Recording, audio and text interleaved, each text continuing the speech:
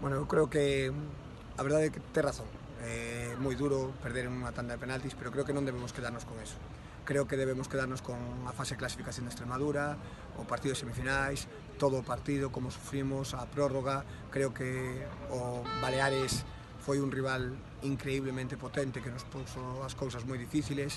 E logo chegas a, a ese momento fatídico da tanda de penaltis que eu creo que os partidos rematan antes da tanda de penaltis. Entón, voume moi, moi, moi, moi satisfeito de, do traballo dos rapaces, de, do apoio da, da federación, de todas as familias que tiveron aquí vibrando con eles, e moi contento porque hayan tenido a oportunidade de, de vivir esta experiencia.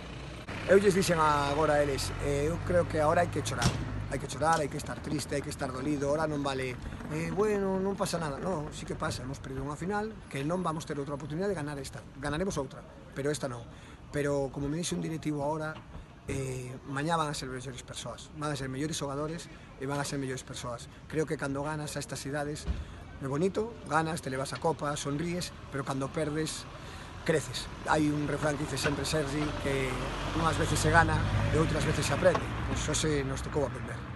Eh, a mí costoume recoñecelo en algunhas fases do xogo. En algunhas fases do xogo costoume ver a esa identidade que tiñamos na fase previa, nas semifinais, en outros momentos do partido, pero certo é que xa comentamos varias veces, al final isto non é, non é fútbol sala profesional, é fútbol sala de nenos, os rapaces teñen medo a perder, costalles mover a, a pelota, eh, creo que é cando máis orgulloso hai que estar deles.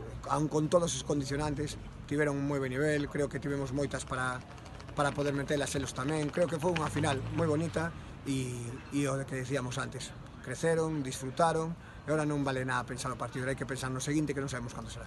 Nos aporta madurez, nos aporta eh, experiencia como persoa, nos aporta eh, crecer tanto deportivamente como personalmente, nos aporta eh, creo sinceramente que cando baixen do bus eh, vean onde están, a onde chegaron, todo polo seu sacrificio, o seu traballo, tanto Sergi como a, como a nos aporta ser mellores en todas as facetas da vida.